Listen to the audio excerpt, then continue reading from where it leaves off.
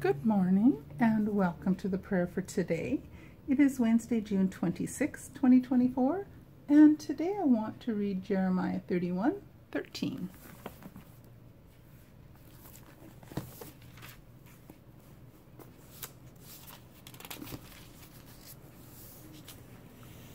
Then shall the virgin rejoice in the dance, both young men and old together, for I will turn their mourning into joy, and will comfort them, and make them rejoice from their sorrow. Amen.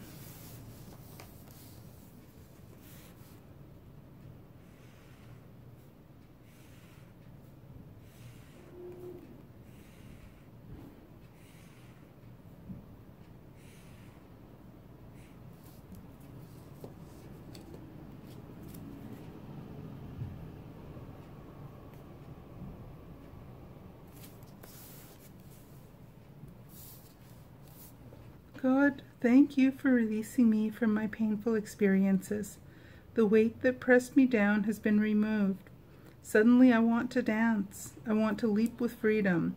When I have seen the depths of mourning and your hand is still able to pull me back to a place of peace, I have a new sense of what living is all about.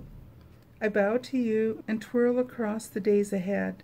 You are allowing me a second opportunity to feel deeply and to grow through sadness and blossom in shades of joy.